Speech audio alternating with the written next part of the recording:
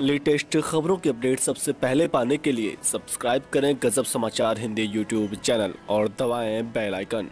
नमस्कार, आप देख रहे हैं गजब समाचार। शहर की विभिन्न झुग्गियों में रहने वालों बच्चों को शिक्षित व विकसित बनाने के लिए रविवार की सुबह नोएडा स्टेडियम में एनसीआर हाफ़ मैराथन का आयोजन किया गया। मैराथन को हरी झंडी दिखाकर आरजे गिन्नी ने रवाना किया। इस दौरान लगभग 900 लोगों ने विभिन्न वर्गों की दौड़ में हिस्सा लिया।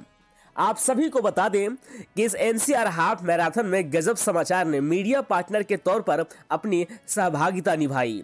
तो अगर आप भी इन बच्चों के लिए कोई कार्य करते हैं या समाज के लिए कोई कार्य करते हैं तो आप गजब समाचार से संपर्क करें वो अपने चैनल के माध्यम से लोगों के बीच आपके कामों को लाएगा। रेडी मुस्कान आज दौड़ में भाग लेकर कैसा लग रहा है? बहुत अच्छा लग रहा है। जी कब से दौड़ रही हो? ये शायद एक हुआ होगा अच्छा। सबसे ज़्यादा दौड़ में सपोर्ट कौन करते हैं तुम्हें?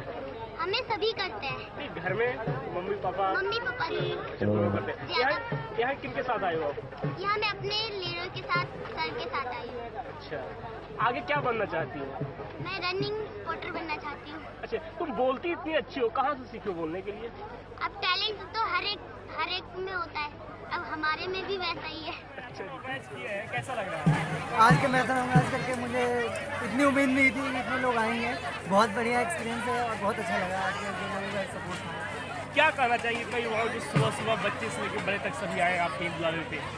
ये मेरे बुलावा नहीं ये हर उत उस स्लम के बच्चों का बुलावा है जो शिक्षा में पिछड़ा हुआ है एक समाज के जो प्रथम अग्रिम श्रेणी उससे बाहर है उन बच्चों का बुलावा उनके लिए लोग भगे हैं। मेरा बुलावा नहीं है। अच्छा तो आने वाले दिनों में कुछ और अगला इवेंट अगला इवेंट आने वाले दिनों में हमारा प्लान है लखनऊ के अंदर, क्योंकि हम यहाँ कर रहे हैं, इसका हमारा प्लान है आने वाले छः महीने के अंदर हम ऑल इंडिया पे ऐसे प्रोग्राम चलाएँ, जिसमें कि जो सलाम के बच्चे हैं, जो पढ़ाई में कहीं ना कहीं पीछे उनको हम एजुकेशन ऑल इंडिया लेवल पर दे सकें। टीच इंडिया का जो प्रोग्राम है, उसका मुकाबला हम एक यूथ होकर उसका मुकाबला करना चाहते हैं। कोई आपसे अगर जुड़ना चाहे बच्चों की मदद के लिए कैसे जुड़ सकता है? जो भी हमसे जुड़ना चाहता है सेक्टर ग्यारह झुंडपुरा लाइब्रेरी चलती है हमारे एच के सामने।